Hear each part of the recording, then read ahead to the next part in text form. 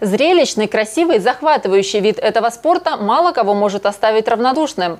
Конкурс – самый массовый и популярный вид конного спорта. Неудивительно, что в день проведения соревнований на территории Дюсша «Изумруд» собралось более 300 человек. С подробностями Надежда Неткачева и Георгий Калинин. Преодоление препятствий, или как часто его называют конкур, один из самых захватывающих видов конного спорта. Для успешного участия в нем требуются длительные и упорные тренировки, но это того стоит.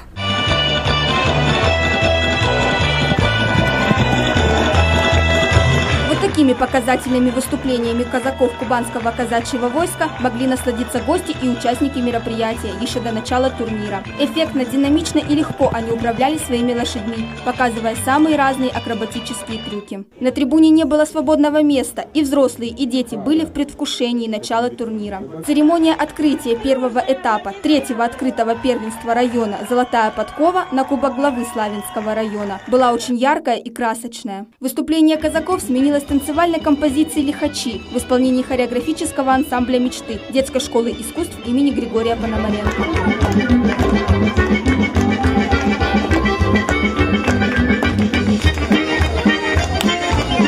Глава Славянского района Роман Синеговский отметил значимость проводимых мероприятий и дал старт соревнованиям. В Славянском районе любят конный спорт, создана серьезная материально-техническая база, где приятно, что занимаются более 100 детей, всем участникам крепкого здоровья, хорошего настроения, успехов. И я уверен, что, конечно же, победит сильнейший. О проведении турнира, номинациях, представленных в нем, рассказал директор конно-спортивной школы «Изумруд» Андрей Дмитриченко. Традиционно проходит третий год подряд.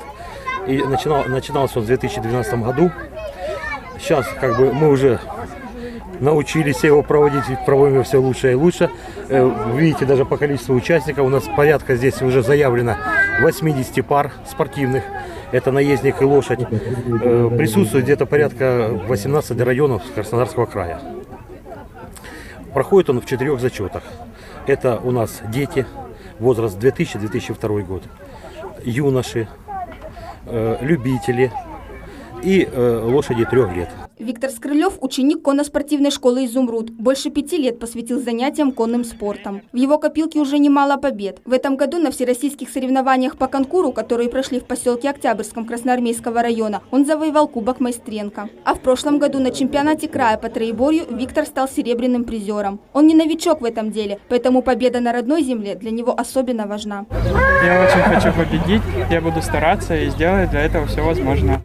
Старт был ярким и красочным. Спортивные пары сразились за звание победителя, в том числе и пять воспитанников ДЮСШ «Изумруд». В равных условиях по одинаковому, но достаточно сложному маршруту им необходимо преодолеть 11 препятствий без штрафных баллов. Собьешь барьер – получишь 4 штрафных очка, а после второго неповиновения лошади всадник исключается из соревнований.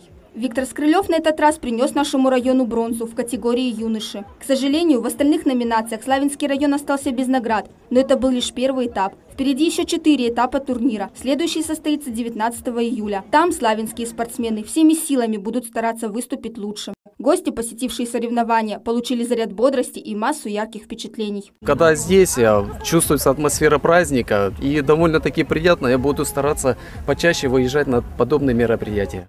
Занятие конным спортом на базе школы «Изумруд» – это прекрасная возможность провести время не только интересно, но и полезно. Дети, посещая такие занятия, знакомятся с миром животных, учатся бережно и по-доброму относиться к лошадям. Достаточно просто прийти и посмотреть на них. Можно попробовать свои силы в верховой езде. Возможно, кто-то в дальнейшем останется здесь навсегда, свяжет свою судьбу с конным спортом и принесет победы нашему району.